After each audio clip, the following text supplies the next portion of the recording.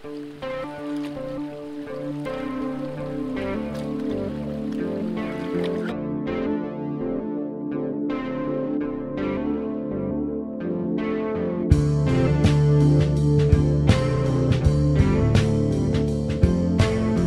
everyone, welcome back to another video. My name's Shane and welcome to Klesh Guitars. So today is yard sale day. It's actually Saturday. Yesterday was usually the best day to go. Fridays and Thursdays is the best day to go for estate sales. It's a little bit late, but as you've seen in some of my previous videos here, I've done really good on Saturdays finding huge coin collections. And about two videos ago, I found an aquamarine about 30 carats worth about $4,500.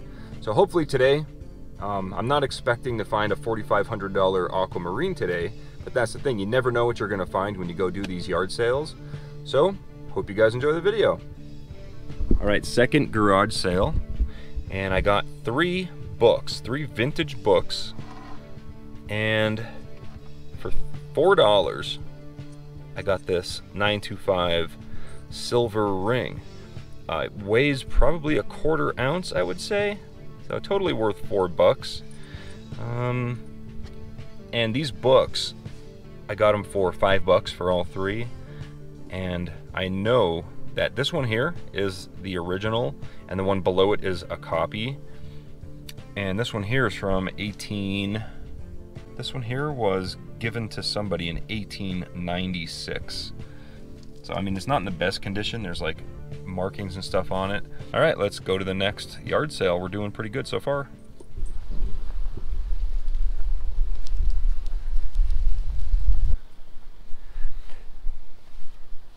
You wouldn't happen to have any guitars here, would you? Broken or working? That's a good question. I don't know if my wife wants to get rid of her guitar or not, so it's possible. I will ask her. Guitar repairman. Yeah. So if there's broke guitars, I just buy them and fix them up.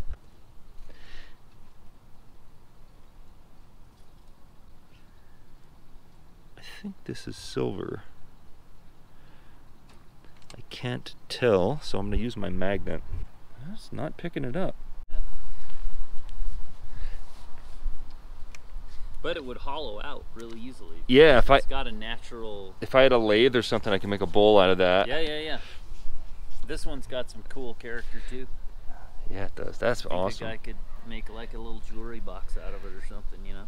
Is that pine? It is pine. Interesting. It is pine. I think it's all ponderosa up in that forest. Yep. With these beanie babies, you want to look for the ones that 99. yeah, you want to look for the ones that are like um, it doesn't have the little star, it just says TY and that's it. wonder what else is in here. I don't know, I didn't really want to dig through. Yeah, there's one. Still got this star. That's a Bronco Ty baby. Elway. That's not a Ty baby. I still like it. The other brand. Well, here's one.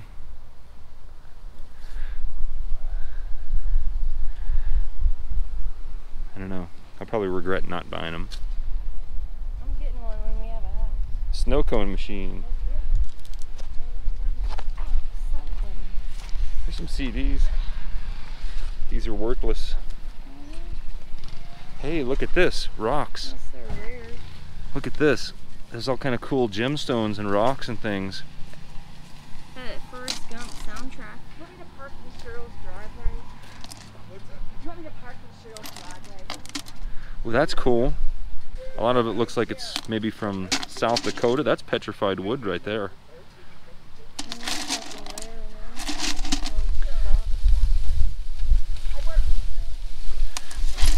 Bet if I dug through here, I might find an agate or something. Some interesting stuff. Some jasper. There's a big chunk of pyrite. Heavy. Maybe I'll buy the whole pail. How's it going? Good. Five bucks. Do you have any magic cards? Those are my kids' Pokemon cards. Pokemon cards?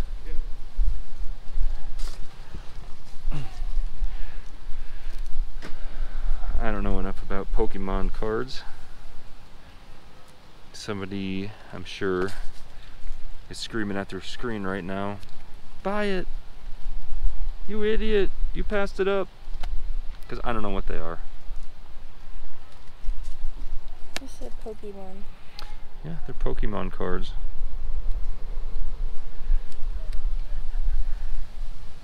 My brother might know. My brother would know. I don't know his name. Maybe I'll buy them and then we could figure out what they're worth. I'm sure they're worth something. I doubt that. You doubt it? And it's still a thing. It's not like baseball cards. Yeah, but I know they sell for a lot. When I was in Japan, they had Pokemon cards going for 50 grand for one card for certain ones. Then buy them. Buy them. I think I'm gonna buy these Pokemon cards and this bucket of rocks. I can look through them in more detail later. We'll see how much he wants for this first. I know that they could be valuable. I just don't know what ones. I just figured I'd take them home and go through it and figure out what they're valued at, if anything. Because I know that a lot of them are worth less, but a lot are also valuable, and I just don't know the difference. Because I know these two are definitely valuable. Oh, they are. To say, Do you know what they're worth? uh, I know this one um, goes for like, it's at like 30 right now. I definitely think, I definitely know these two are worth a lot. Okay. I'm just trying to get rid of them. Yeah, if you're just trying to get rid of them, I'll happily take them off your hands. All right, so we're gonna finish up for the day, and I got the best thing for the day. Now this thing weighs at least a pound and a half, two pounds. Now it, it is filled, but it is sterling silver. So we're gonna peel this all apart. We'll get the weight of the silver. We'll um, we'll find the value of these Pokemon cards. I'm not gonna make you sit through um, as I go through the eBay sold listings, but I'll give you a total of that. These books, this bucket of rocks here, uh, there's a bunch of smaller rocks at the bottom. I am gonna go through this stuff and I'll most likely just throw most of it in my pay dirt bags. There's a link down in the description for my pay dirt if you're interested in that. But there is some cool, interesting stuff in here. Big hunk of pyrite, um, like looks like chert and jasper, some other stuff. So that's interesting. All right, so anyway, I'm gonna go home and I'll get all this stuff added up. All right, we're back at home and I went ahead and used eBay sold listings to appraise pretty much this entire book. I typed in every single collector number and I learned a lot about Pokemon cards and everything, and we actually did pretty good, um, especially on this first page here, and I'll show that in just a second. But first I want to show you guys what eBay sold listings is. Now eBay sold listings is an awesome free tool that anybody can use to determine the value of most items. So for these Pokemon cards, I would just type in like the collector number and the name, scroll down, and make sure that sold items is checked. And everything that has sold on eBay is going to come up here. I have it set by ended recently. So recently someone bought it for $8.20 with $5.86 shipping. Uh, here four and four, that's eight bucks for that one. 10, 11, 12, you know, $14 for this one. So I actually have this card here and it's like a big giant one. So I put it down as $10. I don't know if you can see it right there, but there's that one. And then on the other side, I have this other big card here. So for those two cards alone, they could sell for $18. Now, I don't know enough about these cards to determine which ones are worth more, which ones are worthless, or whatever. All I know is I typed it into eBay, and this is what I found. So this one here, that can sell for um, $18 for this card, and if it was graded at a PSA 9 mint state, it would be worth 60 All right, this card right here is worth about $24 and about 70 if it was graded. And then for the rest of the cards in the book, uh, there's a few $5 ones, um, there's a few $8 ones, and if there's no post-it note, that means they're worth between one and two dollars each. There's only a handful that are worth less than a dollar. I'm not going to show every card up close. If you want to see that, you can go to the eBay listing. There's a link down below if you know about Pokemon cards. Um, definitely check out the listing. But I'm going to start this auction at 99 cents. These these cards here are worth like a quarter, 50 cents, something like that. And there's only a handful of those. Um, the rest of them, pretty much worth a dollar. Even these cards here, they're like holographic. I thought they would be worth more, but they're worth about a buck. Some of them are worth two, three bucks, but I didn't. I didn't take the time to really. I just called all of these cards one dollar, and I came up with a value. So there's about 160 cards in here, maybe a little more. So the value of this entire book is probably somewhere around, at the low end, $262, and then at the highest end, about $414. The way I got these prices is the low number I got if I counted each of these cards as $1 and 414 if I counted them as two. Um, realistically, you could probably get even more than that, but you got to remember eBay fees if you're selling these things individually. Um, you'll probably end up getting somewhere in the middle of that, maybe 300 bucks. I would I would guess. Also, I spent $35 on the collection. So if I was to sell this at the lowest price, for the sake of the video, I'm going to call it a profit of $227 for this collection.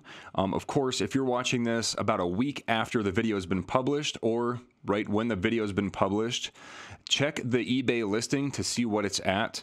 I'm going to start the auction at 99 cents and uh, we'll, we'll see where it goes from there. But I mean, to me, that is an awesome score. All right, what else do we have here? All right, we got a few old books. I don't think they're worth too much.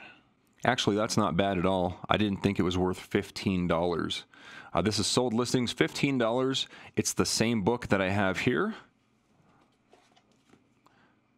I think. Let's go back and check again. Actually, it's different. This one, this one has silver letters, and this one here has black. Let me see if I can find a closer one. Yep, 5.95 plus three for shipping. So we can call this a $5 book. Same thing, $5. I spent $5 for all three books.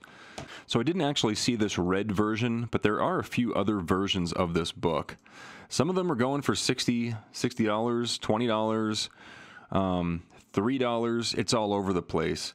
So I think I could safely call the value of this one like a dollar because I just don't know. Who knows? It could be super rare. I don't know. I'm going to sell all three of these in a lot on eBay. You can check the link below. All right, let's see the value of this one here. Thorny Path. No exact matches found for that one, so, you know, a dollar. I'll just start the auction at 99 cents. Maybe I can get my money back. Maybe not. Doesn't matter. We already profited from the Pokemon cards.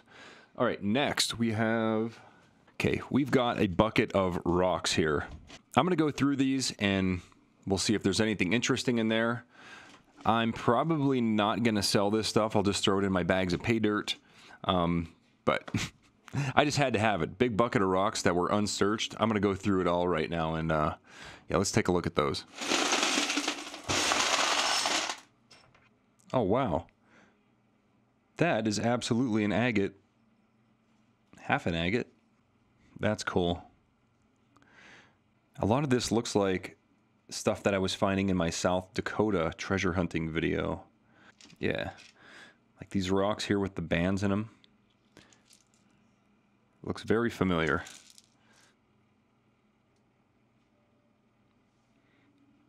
Big hunk of fool's gold right there. Some pyrite. That's a hunk of petrified wood. That's pretty cool. This one here actually looks really interesting. I already know what you're saying in the comments. Crush it up. Find the gold. I don't know if I want to crush it up. This one's really cool. This one, it looks kind of like man-made or something. It's like a greenish color. That is a small animal jaw, some sort. A mammal of some sort. Yeah, just a really cool, interesting bucket of rocks. That is pretty awesome. You'll be seeing these in bags of pay dirt. There's some cool, look at this. This is a little marble. It's made out of some sort of stone. It's almost perfectly round. There's all kind of teeth in there. That's like a clay marble. Okay, this is the base of that candlestick right here. It says Sterling Duchin Creation Weighted. So I do have a couple tools here that I could use to rip this thing apart. And basically, you peel this off. It's like a layer of silver on this entire thing. These might be solid silver. Uh, these pieces might be a little bit thicker up here. Uh, that's why I purchased it for $35. Uh, she said 40. I said, I'll give you 30, and we met halfway. So I, I got this for 35. Um, now, the thing is, I don't really want to destroy it. I think it's really cool. So I'm going to check eBay and see if I can find anything that matches this. And if I could sell this on eBay and still make a profit on my $35, uh, we're going to spare it. We're not going to destroy it. So there are a lot of auctions that are selling this thing. I want to find one similar to this piece, though. There's a bunch of candle holders, but they're, it's a different design. Kind of like this one here. You can see that this one has a fatter base down the bottom. Oh, it unscrews. That's cool. Oh, wow. That's That also says sterling weighted right there. That's cool. I didn't know it unscrewed like that. I don't want to destroy this thing. This is so cool. Does this piece unscrew? It does. Look at that. There's a piece of wax down the bottom. Sterling weighted. Cool. In this picture here, you can see that this piece, there's it doesn't have this bottom piece. It's like very thin down here. This one's bigger. There we go. That's exactly the same thing. It has the two fat pieces, one here and one here. Three arms. Um, $106 plus $26 shipping. That auction right there just saved this thing from getting destroyed because I'm pretty sure there's not $120 worth of silver in here. Um, and I paid 35 for it. I am going to go ahead and put this on eBay as well. There will be links below if you want to follow the auctions. Um, and after the auctions are over, if you're watching this next year or something, I'll make sure that I put the value in the description. So anyway, I think that was a total success. We drove around, Heather and I drove around today looking at yard sales. We did maybe eight yard sales to find this stuff. It only took maybe two or three hours. Uh, we were taking our time as well, just, you know, stopping. We had some food and everything, and it was just a fun morning. We got everything done before noon. If I say we get $100 for this candle, we would be at $327. Um, that's if I get 227 for the Pokemon cards. Also subtracting the price, like $35 for the candle and the $5 for the bucket of rocks. Um, I would say we're somewhere in the $275 range on the low end. So that's definitely a success. It's not as good as my $4,500 uh, gemstone that I found in a recent yard sale video. I'll link that video right here and make sure you check the description because I had that thing reappraised um, and it came back as $4,500. So that was a lot of fun. So anyway, if you guys enjoyed this video, please hit the thumbs up button. If you haven't subscribed yet, go ahead and do that. I put out a new video, at least one new video every week. And that's all I got for today. Thanks for watching. Thanks again, everybody, for watching my video. It's much appreciated. I did notice that 73% of my viewers aren't even subscribers. So if you would like to make sure you don't miss any of my future videos, make sure you subscribe, and I'll see you guys on the next one.